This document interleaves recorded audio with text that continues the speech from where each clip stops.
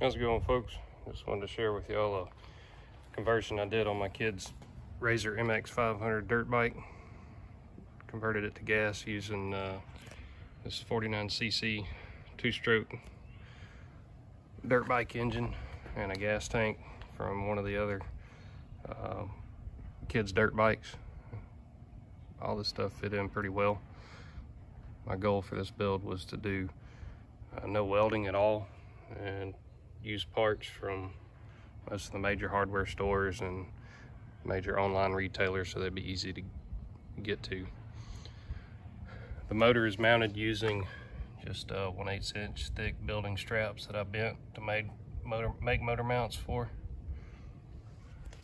Gas tank, when you go to mount it, keep the seat and the fender bolted together, slide it up on the bike like it's supposed to be, slide the gas tank in, and uh, you end up having to drill a hole just a little bit further back than the original. Same for the one in the back. And uh, I drilled and tapped those, bolted it down, drilled new hole, holes here in the fender on both sides because there's nuts buried into the gas tank. And then you can see the these are the holes that came in the gas tank mount here.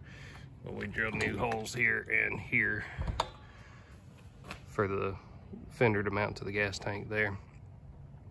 Gas tank came with a fuel line and a fuel filter and fuel shut-off valve. I would not recommend messing with this one.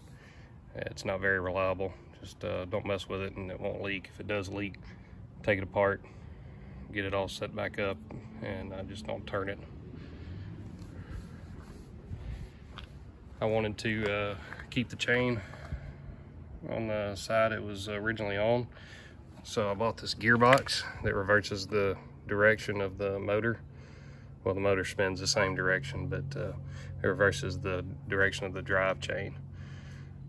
So it's got a gear reduction system in here that I think was uh, four and a half turns to one. It came with a 20 tooth sprocket. We put an 11 tooth on it. And uh, this is a, a T8F chain, T8F sprockets, 54 tooth on the back. Used the original chain tensioner. Also had to add this uh, roller and see the little bracket I made for it there. That is necessary to keep the chain from loosening up too much. It works in combination with the chain tensioner. Was able to use the uh, original chain guard with just a uh, Adel clamp and uh, just a little piece of sheet metal. It's actually um, from one of the hobby parts bins at the hardware store. Uh, made a little bracket here, bolted it to this gearbox. When you get the gearbox, you're gonna wanna take it apart, clean it out. There's gonna be some metal shavings in there. Uh, seal it up with a gasket maker and fill it up. I think with uh, I think the website said 80 to 90 weight gear oil. I also put some uh, Lucas heavy duty oil stabilizer in there.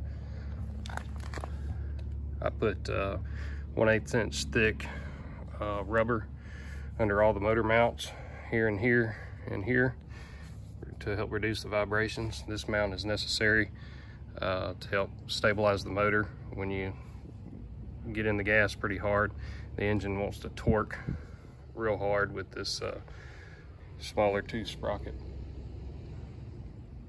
And uh, you can see it flex quite a bit. Just a cheap box muffler there and a couple of uh, 90 degree copper elbows to help deflect the exhaust. This part of the frame from here to here, I did uh, hammer it in with a sledgehammer to create the clearance needed for the chain.